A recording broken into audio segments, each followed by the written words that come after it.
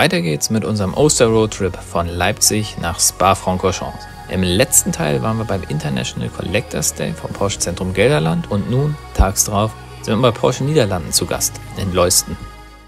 Nach Leipzig und Gelderland ist heute das eigentliche Highlight, denn wir sind bei PON Automotive, dem Importeur von Volkswagen hier in den Niederlanden und der wirklich eine ganz besondere Porsche-Geschichte hat. Ben Pon Junior, das ist ein Name, der hat Gewicht. Da gehen wir gleich noch ein bisschen drauf ein. Er war der Erste, der überhaupt einen Porsche importiert hat, außerhalb von Deutschlands. Also die allerersten internationalen Verkäufe haben hier stattgefunden. 1949. Das Auto steht unten in der Garage, das Replika. Und wir gucken uns auch die Special Edition davon an. Ben Pon Junior hat dazu dann auch noch den Bully entwickelt. Das war seine Idee. Ja, kann man sich gar nicht vorstellen. Der legendäre VW Bulli ist eigentlich ein Niederländer. Richtig cool. Also eine Riesenehre, hier sein zu dürfen. Und als Abschluss dürfen wir auch noch 964 Polizeitage erfahren. Also wirklich unglaublich, was hier heute möglich gemacht wurde. Das Areal von Porn Automotive umfasst somit alle Wagen von Volkswagen und so findet man hier direkt neben Porsche Lamborghini. Durch die Verbundenheit mit dem Bulli hat der neue ID Bus natürlich hier eine besondere Bedeutung.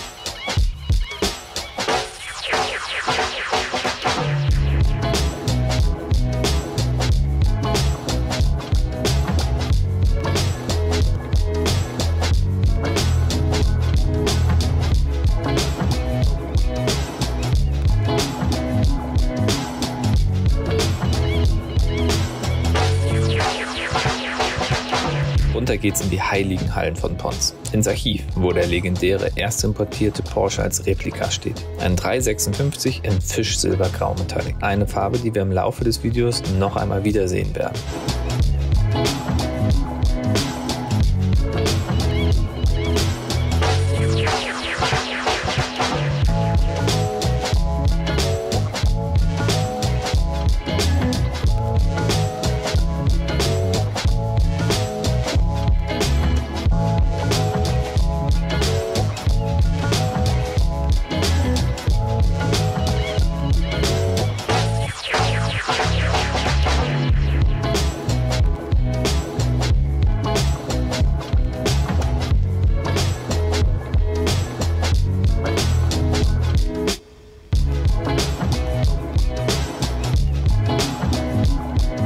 Eigentliche Ziel ist aber dieser originale 911 Carrera RS 4.7 in Gulforange. Denn das Auto gehörte Ben Point Junior, ist damit auch Rennen gefahren. Aber der Grund, warum ich hier bin, sind diese Schuhe. Ich habe sie an. Der Hans, der da hinten steht, hat sie jetzt gerade nicht mehr an, weil das sind seine.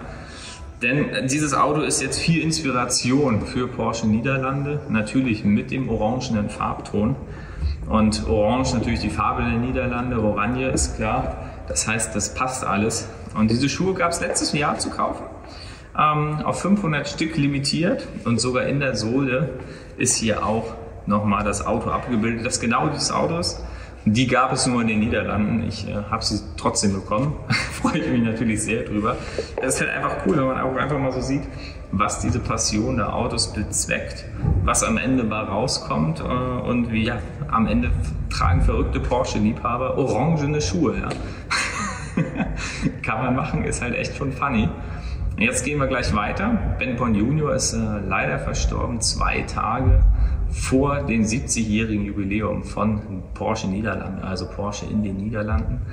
Und äh, da sollte es eigentlich ein ganz besonderes Auto geben. Das Auto gibt es jetzt auch, es wurde nach ihm benannt, die Ben Junior Edition. Passend zum 356 hat Pon Automotive 2019 bei der Exclusive Manufaktur in Zuffenhausen 20 Mal diesen 911 Carrera 4S in Fischsilbergrau in Auftrag gegeben. Porsche Exclusive-Kennern wird direkt auffallen, dass das Interieur komplett beledert ist und Madagascaro-Muster die Sitze ziert. Individuelle und beleuchtete Zierleisten zeigen das 70-jährige Jubiläum sowie die Silhouette der beiden Fahrzeuge. Grund, warum ich aber hier bin, ist das passende Modellauto, welches es nun im Maßstab 1 zu 43 gibt und lediglich auf 1000 Stück limitiert ist. Ebenfalls als Modellauto verewigt ist die Reis von Lennep Edition, ein Einzelstück auf Basis eines 9F Carrera S mit Aeropaket. Der offiziell beste niederländische Rennfahrer des 20. Jahrhunderts wurde Ende 2020 mit diesem Fahrzeug von Porsche Niederlanden geehrt. Besonders an diesem Fahrzeug ist der Fingerabdruck von Reis von Lennep auf der Fronthaube, eine Option der Porsche Exclusive Manufaktur, die Anfang desselben Jahres präsentiert wurde und in einem neuen Verfahren direkt auf die Haube gedruckt wird. Allgemein ist das Fahrzeug sehr sportlich gehalten. Lava Orange außen mit Carbondach und Carbonspiegel, Lava orangene Nähte und Carbonelemente im Innenraum. Ihr könnt ja mal kommentieren, welcher der beiden euch besser gefällt und liken sowie abonnieren dürft ihr natürlich nicht vergessen, wenn euch dieses Video gefällt. Und das nächste Porsche Niederlande Sondermodell wartet schon.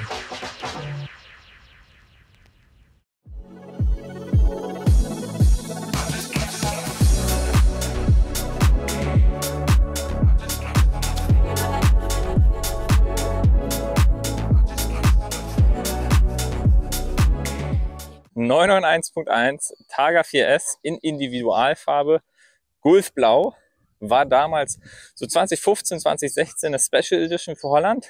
Das Auto gibt's nur hier, gab's nur hier. 15 Stück wurden gebaut. Neben der Individualfarbe Gulfblau voll Exclusive Manufaktur. Innen alles beledert mit silbernen Ziernähten und das Beste Pepita-Stoff im Innenraum. Absolut genial. Dazu natürlich noch einen Sauger Sechszylinder der auch einfach unglaublich gut klingt. 991.1 halt.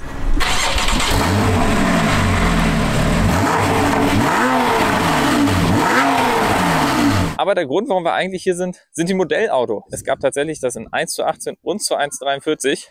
Jetzt haben wir alle drei zusammen. Die shooten wir jetzt.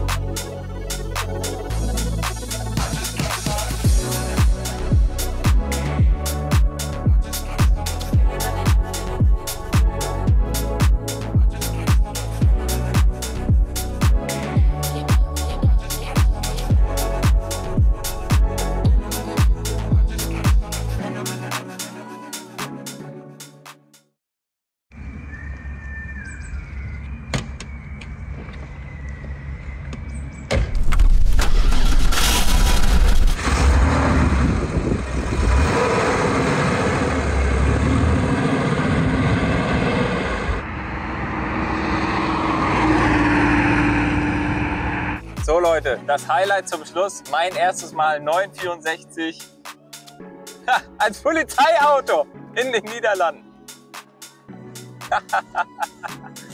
so muss das sein, herrlich. So, wir machen jetzt einfach nur eine kleine Runde. Ich wollte unbedingt dieses Auto fahren. Und der Hans hat das hier möglich gemacht von Pons, was einfach unglaublich ist. Fahr mal in Deutschland ein Polizeiauto, hast du keine Chance. Und das Ding ist ja irre. Ja? Das hat 315.000 Kilometer runter und fährt sich, als wenn es neu ist. Echt stark. Was ein Auto. Ein holländisches Polizeiauto ist ein ganz besonderes Auto. In Deutschland hatten wir auch Polizeiautos von Porsche, in anderen Ländern der Welt auch. Doch für die Holländer war das ganz besonders wichtig. Und es mussten auch unbedingt Taras sein.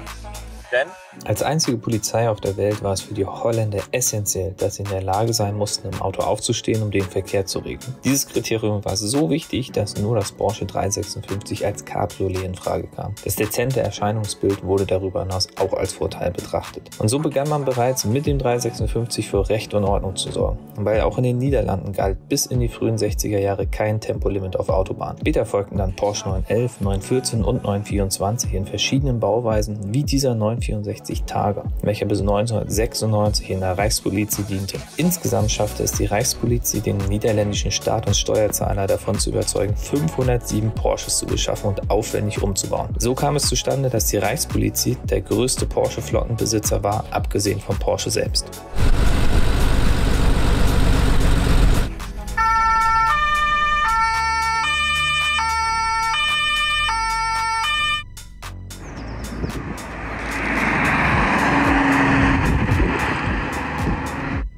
the Porsche-Fahren bei der niederländischen Autobahnpolizei war natürlich nicht nur Spaß, sondern auch anstrengend. Neben den ganzen Tag unbequem Sportwagen fahren durfte das Verdeck erst bei weniger als 2 Grad Außentemperatur geschlossen werden und die stets zu tragende weiß-orangene Polizeikleidung inklusive Helm taten bestimmt ihr Übriges. Eine Anekdote lautet dennoch, dass die Nichtbetrachtung der Vorschrift eine drakonische Strafe in Form von Kuchen mitbringen folgen musste. Außerdem waren diese Männer die wohl gesündesten Polizisten von allen, denn es gab kaum Krankheitsfälle. Und ich kann gut verstehen, verstehen, warum. Den ganzen Tag Porsche fahren und immer das Gesetz auf seiner Seite haben, wer würde sich da krank melden? Doch wer dachte, dass man als junger Polizist einfach so Porsche fahren durfte, weit gefehlt. Anwärter mussten über eine sehr gute körperliche Verfassung verfügen und mindestens 25 Jahre alt sein. Das war aber noch nicht alles. Sie mussten zudem verheiratet sein und sollten vorzugsweise auch Kinder haben, da dies eine verantwortungsbewusste Fahrweise fördern und eine unnötige Risikobereitschaft ausschließen sollte.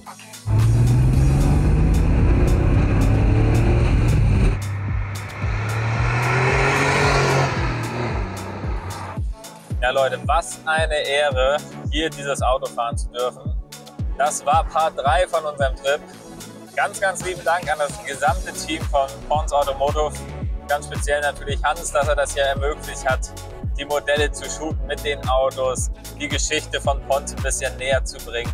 Und natürlich am Ende hier zum Abschluss Polizeitager 964 zu fahren. Irre. Leute, ich hoffe, euch hat es gefallen. Lasst einen Daumen oben da, lasst ein Abo da. Sehen wir uns beim nächsten Mal wieder. Sein. Allah. Ciao.